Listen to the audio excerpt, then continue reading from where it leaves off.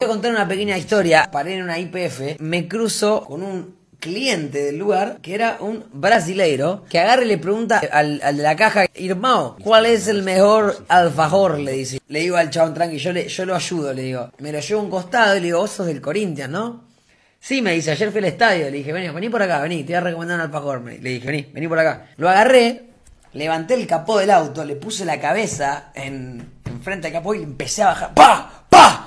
A los tres capotazos. Y lo dejé tirado a un costado y me fui. Qué bronca, brasilero de mierda.